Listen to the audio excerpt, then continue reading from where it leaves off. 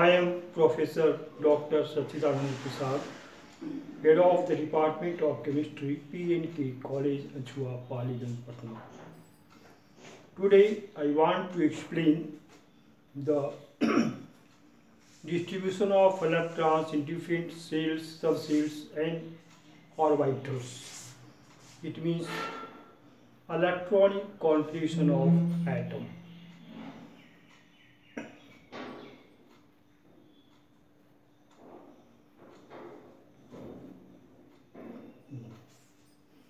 electronic configuration of atom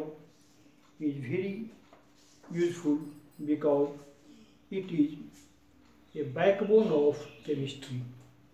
Mm. On the basis of electronic configuration,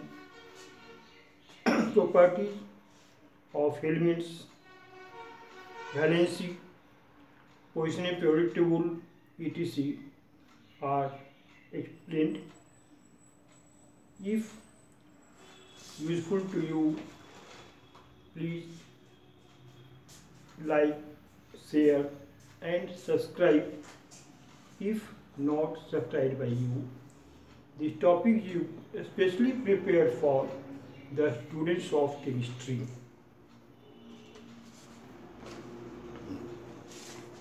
now let us start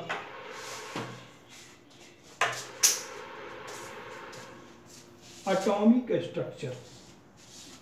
atomic structure का मतलब ये हुआ कि परमाणु की संरचना कैसे होती है क्या है इसमें परमाणु क्या है कैसे कंट्री इसमें रहते हैं तो बहुत पहले डॉल्टन ने बताया था कि परमाणु किसी भी तत्व का अविभाजिकन है आज विज्ञान इतना डेवलप किया है कि उसने बताया कि परमाणु बहुत से छोटे छोटे कणों के मिलने से बना है ये मुख्यतः इलेक्ट्रॉन प्रोटॉन और न्यूट्रॉन हैं जिनमें न्यूट्रॉन और प्रोटॉन एटम के न्यूक्लियस में पाया जाता है और इलेक्ट्रॉन विभिन्न वृत्ताकार कक्षाओं में चक्कर लगाता है ये सामान्य संरचना दी गई परमाणु की जिसमें बताया गया कि न्यूक्लियस में प्रोटॉन न्यूट्रॉन रहता है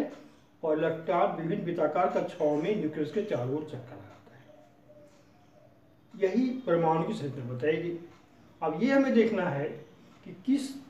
ऑर्बिटल में कितने इलेक्ट्रॉन्स रहेंगे इसका निर्धारण जो है करने के लिए हम लोगों ने ये रूल्स बनाए हैं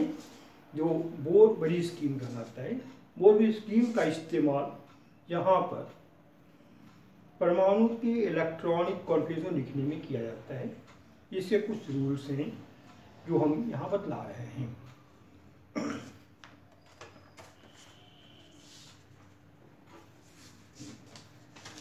First, distribution of electrons in cells on the basis of Bohr's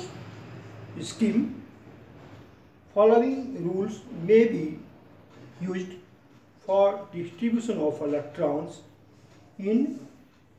Bohr's orbits or states. Point 1. Maximum number of electrons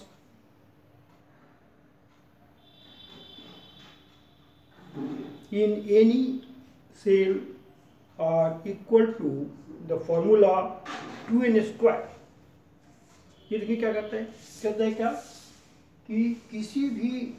परमाणु के किसी भी ऑर्बिटल में मैक्सिमम इलेक्ट्रॉनों की संख्या टू एन स्क्वायर के अनुसार होगी जैसे यहाँ देखिए यहाँ दिया गया है इफ एन इक्वल वन पहली कक्षा के लिए N equal one number of electron in first orbit two N square से निकालेंगे तो दो गुने एक का स्क्वायर हुआ मतलब दो हुआ और इन N equal two if equal if N equal two number of electrons in second orbit ये हो गया टू इंटू टू का स्क्वायर हो गया ये हो गया eight if N equal three number of electrons in third orbit two into three square equal हो गया eighteen if n equal 4 number of electrons in fourth orbit 2 into four square कर हो गया ये 32 इस आधार पर इलेक्ट्रॉनों का विभिन्न आवेशों में जो डिस्ट्रीब्यूशन होता है उसे कुछ एग्जांपल्स यहाँ देखते हैं जैसे एग्जांपल्स में हार्डन लेते हैं हार्डन एटॉमिक नंबर वन एक इलेक्ट्रॉन न्यूक्लियस के चारों चक्कर लगाता है ये इसका स्ट्रक्चर ऑफ रेक्टम हॉर्डिनेटम को यहाँ देखिए इलेक्ट्रॉन में नियोन नियोन का जो है दो आठ पहली कक्षा में दो इलेक्ट्रॉन दूसरे में आठ होकर यहाँ दिखाया गया है दो इलेक्ट्रॉन फर्स्ट ऑर्बिट में ये आपका फर्स्ट ऑर्बिट है ये सेकेंड ऑर्बिट है फर्स्ट में दो इलेक्ट्रॉन और सेकेंड में आठ इलेक्ट्रॉन हो तीसरा हम देखते हैं इलेक्ट्रॉन फिर chlorine seventeen two eight seven first orbit में दो इलेक्ट्रॉन सेकेंड में आठ इलेक्ट्रॉन एंड थर्ड विंग साथ लगता इस प्रकार से क्रूवेंट का एडमिनिस्टर हो अब यहाँ देखिए फोर्थ विंग अब यहाँ देखने हमने रूल नंबर टू देखते हैं नंबर टू कहता है क्या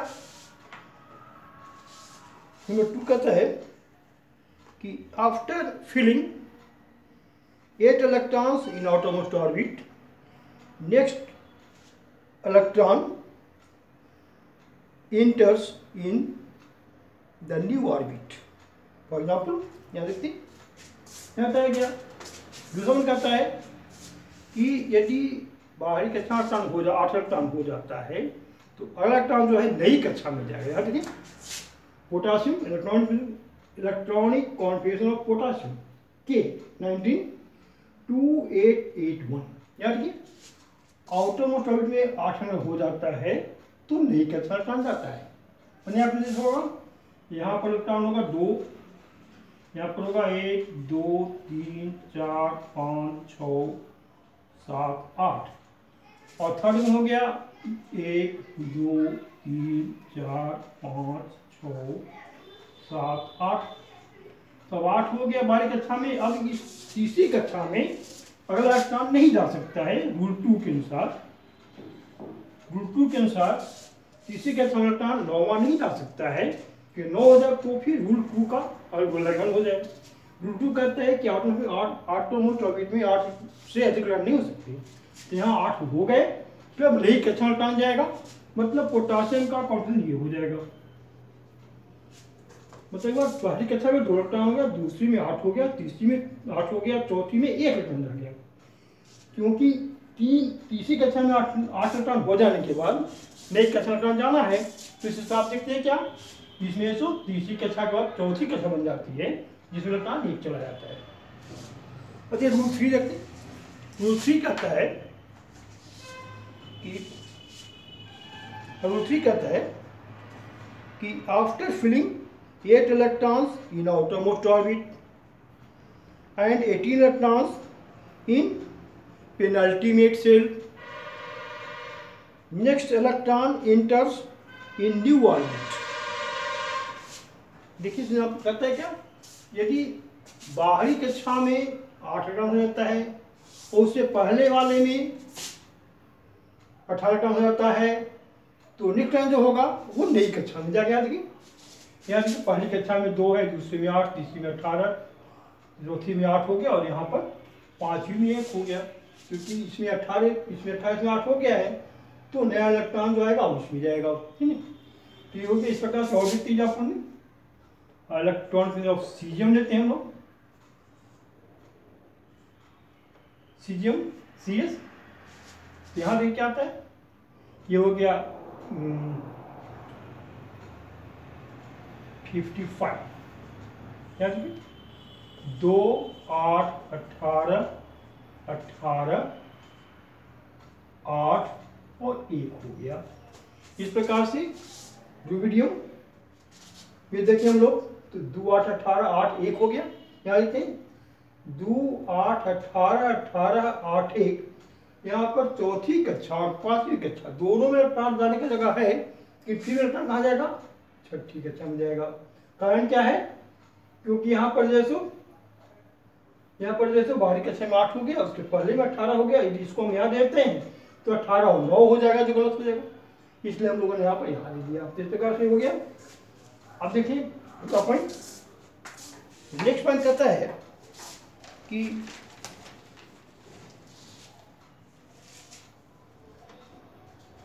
आफ्टर फिलिंग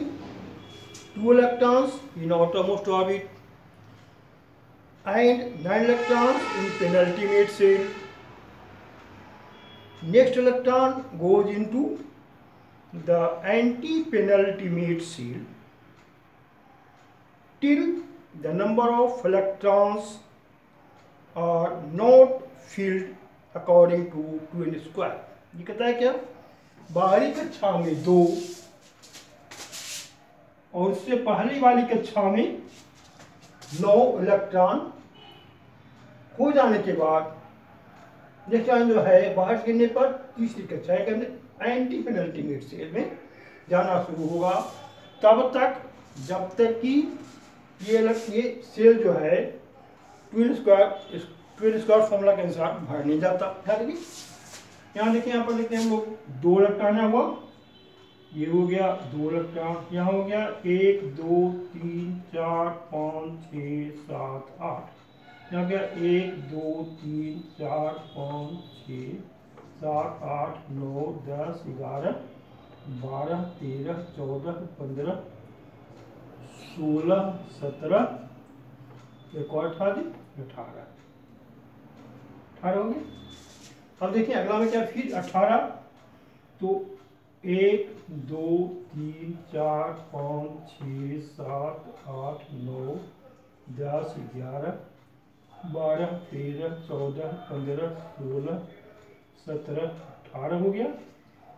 अब यहाँ करते हैं यहाँ देखिए एक दो तीन चार पाँच छः सात आठ नौ दस नौ ही नौ और आठ तो उसमें दो हो गया यहाँ दो देते हैं ऐसे फर्स्ट ऑइट में दो इलेक्ट्रॉन सेकेंड में आठ इलेक्ट्रॉन थर्ड में अठारह इलेक्ट्रॉन और फोर्थ में अठारह हो गया है और फिफ्थ में नाइन इलेक्ट्रॉन और सिक्स में दो इलेक्ट्रॉन इलेक्ट्रॉनिक तो बचा कहाँ जाएगा तुर्का तो जो बचा वो फोर्स हो जाएगा क्योंकि ये एंटी पेनल्टीमेट सेल है ये जो है सो पेनल्टीमेट सेल है और ये आउटर मोस्ट सेल है इलेक्ट्रॉन चौथी कक्षा में जाएगा मतलब यहीं पर इलेक्ट्रॉन को भरेगा इसमें इलेक्ट्रॉन को भर दिया इसी प्रकार से ये हो गया इलेक्ट्रॉनिक कॉन्फ्यूज सीरियम इसमें देखें ये हो गया आउटर मोस्ट ऑर्बिट ऑर्बिट हो गया या सेट और ये हो गया पेनल्टी नेट सेल और ये हो गया ये वाला हो गया तो चौथी कक्षा ये हो गया एंटी पेनल्टी मिड से ये हो गया एंटी पेनल्टी मेट सेल बताएगा क्या फोर्सफुल के अनुसार में दो इलेक्ट्रॉन पेनल्टीमेट में नौ इलेक्ट्रॉन हो जाने के बाद इलेक्ट्रॉन एंटी पेनल्टीमेट सेल में जाएगा तब तक जब तक कि इसमें इलेक्ट्रॉन बत्तीस नहीं रहते सूत्र ट्वेन स्क्वायर के अनुसार फोर्थ ऑर्बिट में इलेक्ट्रॉन बत्तीस होने चाहिए मतलब इलेक्ट्रॉन इसमें तब तक जाएगा जब तक कि इसमें इलेक्ट्रॉन बत्तीस नहीं आते जैसे आपको देखिए से इराम फॉर्म यहाँ देखते हैं यहाँ होंगे आपका लोरेंशियम का हम्म, का इकहत्तर तो ये हो गया दो आठ अट्ठारह और बत्तीस और नौ और दो ये हो गया रोटेशन के बारे में जिसमें दो आठ अट्ठारह बत्तीस हो जाएगा चौथी कक्षा में और पांचवी में जाएगा नौ और छठी में जाएगा दो इस प्रकार से जब बत्तीस पूरा हो जाएगा तो नेक्स्ट एलिमेंट जो आएगा उसको हम लेते माने कि लिया नेक्स्ट लिया एलिमेंट हमने लिया एच एफ सेवेंटी टू यहाँ हो जाएगा क्या दो आठ अठारह बत्तीस यहां दस हो जाएगा और यहां दो हो जाएगा ठीक है अब देखिए अगर कौन देखते हैं इसमें नाइन में एग्जाम्पल निकाल लेते हैं ये कहता है कि यदि इलेक्ट्रॉन्स हम ले लेते हैं एट्टी मरकरी तो ये इलेक्ट्रॉन कब जाएगा ये हो जाएगा दो आठ अट्ठारह बत्तीस दस ये अठारह है अठारह और दो तो इसके आगे हम देंगे हम लोग एग्जाम्पल तो इसमें आएगा अस्सी का रहेगा इक्यासी तो इक्यासी में लेंगे हम लोग एग्जाम्पल इधर अच्छा यहाँ देखिए एग्जाम्पल्स हो गया नौ यहाँ का देखिए दस में तो आता है कार्बन थैलियम एट्टी वन कि हो जाएगा दो आठ अठारह बत्तीस और ये हो गया अठारह तीन ये चला जाएगा आपको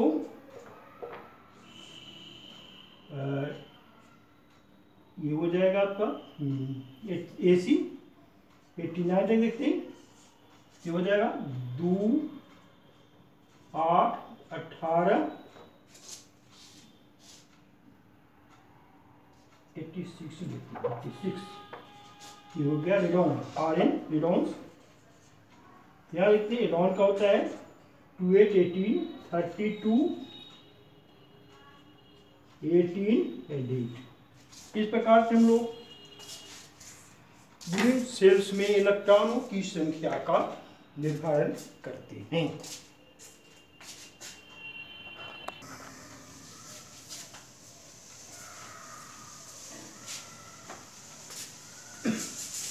और वो देखेंगे distribution of electrons in substance following rules may be use first point in first orbit S second orbit S and P third orbit S P and D in fourth orbit S P D and F सब sales are present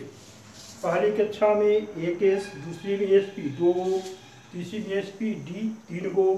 और चौथी कक्षा में S P D और F चार प्रकार के सरसेल पाए जाते हैं point two maximum number of electrons may be present in S equal two P equal six D equal ten F equal fourteen S subshell में दो इलेक्ट्रॉन पी में छः इलेक्ट्रॉन डी में दस इलेक्ट्रॉन और एफ में चौदह इलेक्ट्रॉन्स अधिक से अधिक रह सकते हैं point three at first electron enters in circle of low energy then high energy according to increasing order of energy of different subcells at given below यहाँ बताया गया कि जब इलेक्ट्रॉन की दर लिखा जाता है तो सबसे पहले सबसे कम ऊर्जा वाले सबसे इलेक्ट्रॉन जाता है उसके बाद उससे अधिक जाता है सबसे जाता है इस प्रकार से क्रमानुसार जैसे जैसे सबसे स्कूल जब बढ़ती जाती है लॉकडाउन से भरती जाती है ये यहाँ है अब यहाँ पर तो ऊर्जा के बढ़ता क्रम यहाँ दिखाया गया है जो देखिए यहाँ पर one H two H two P three H three P four H three D four P five H four D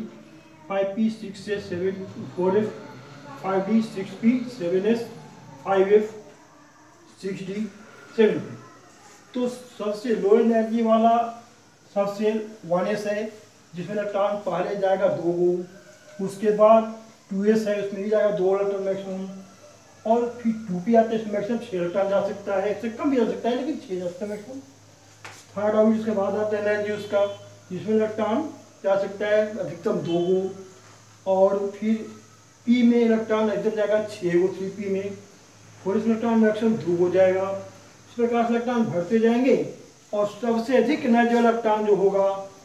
वो सबसे जो है वो सेवन पी है इसलिए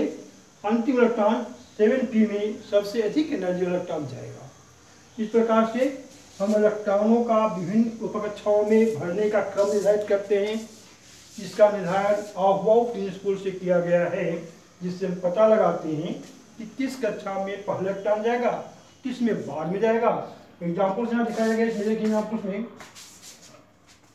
इलेक्ट्रॉनिक में सम एलिमेंट्स यानी एलेवन लेते हम लोग one H two two H two two P six three H one पहली में दो दूसरी में दो और तीसरी टू पी में छः और थ्री एच में वन इसी क्रम के अनुसार पहले टू वन एच में फिर टू एच में फिर टू पे फिर थ्री एच में इलेक्ट्रॉनिक में ऐसे ही क्लोरीन का देखते हैं one H two two H two two P six three H two three P five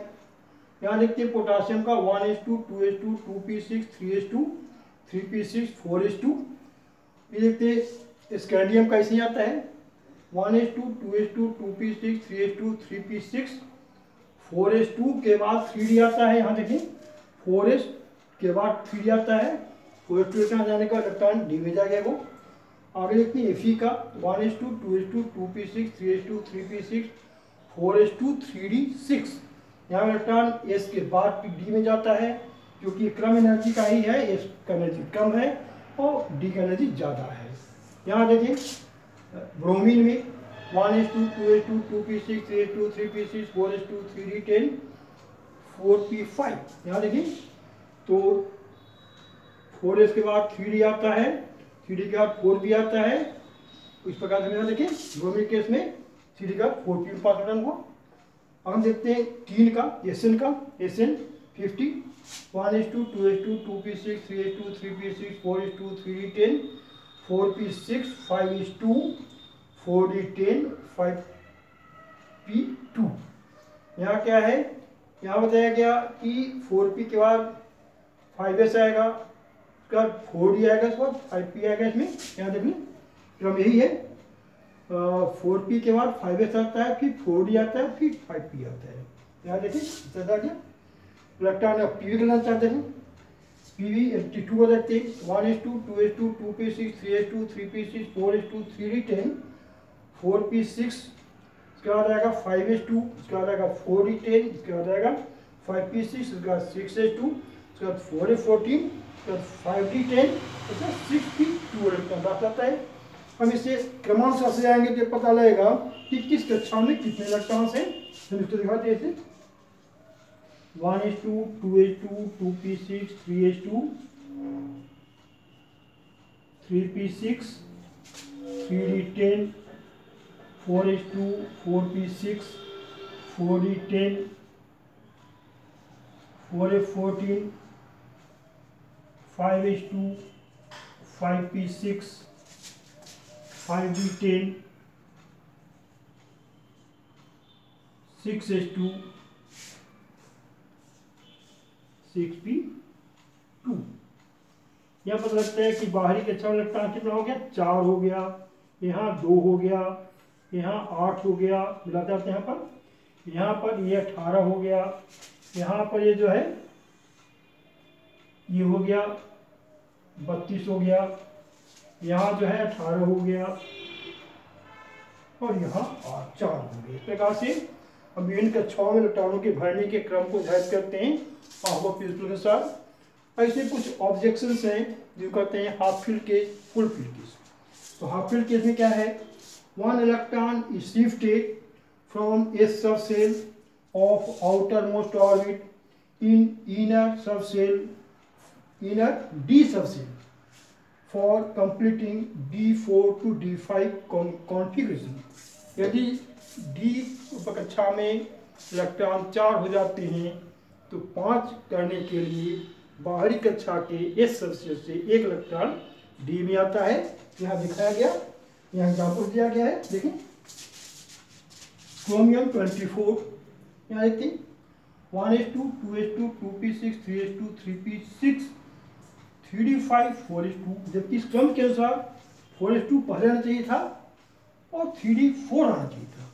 जो थ्री डी फोर होने की वजह से यहाँ ना होकर के यहाँ पर थ्री डी फाइव हो गया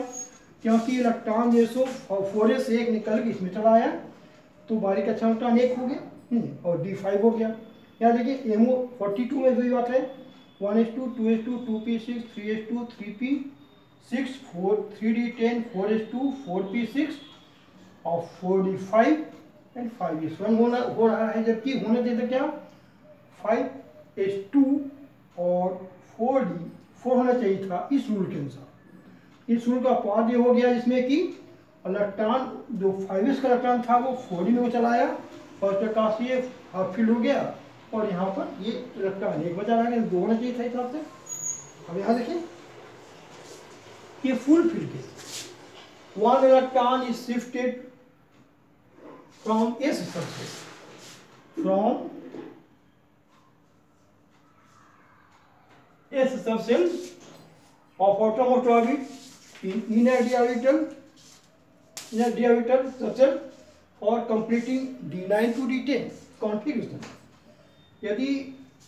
डी में इलेक्ट्रॉन नौ हो गए हैं तो उनको दस करने का प्रयास करता है इसके लिए वो बाहरी कक्षा के इस सब्सटेंस से एक इलेक्ट्रॉन लेता है जो यहाँ दिखाया गया है कॉपर के में one H two two H two two P six three H two three P six three D ten four S one हुआ जबकि इसका होना चाहिए था क्या फोर एस टू होना चाहिए था और थ्री डी नाइन होना चाहिए था तो थ्री नाइन जो है टेन हो गया और फोर एस वन हो गया क्योंकि इसका इलेक्ट्रॉनिक थ्री में चला गया इसी प्रकार से सिल्वर एंड गोल्ड में भी फुलफिल केस लागू होता है जिसमें सिल्वर में फाइव एस वन इलेक्ट्रॉन आता है और फोर डी टेन इलेक्ट्रॉन आता है और गोल्ड में इसी प्रकार से फोर सिक्स एस में वन टर्न आता है और फाइव डी में टेन आता है तो यहाँ हो गया इतना क्या कि केस लागू हो गया तो इस प्रकार से सर्वश्रेष्ठ के भरने के नियम हो गए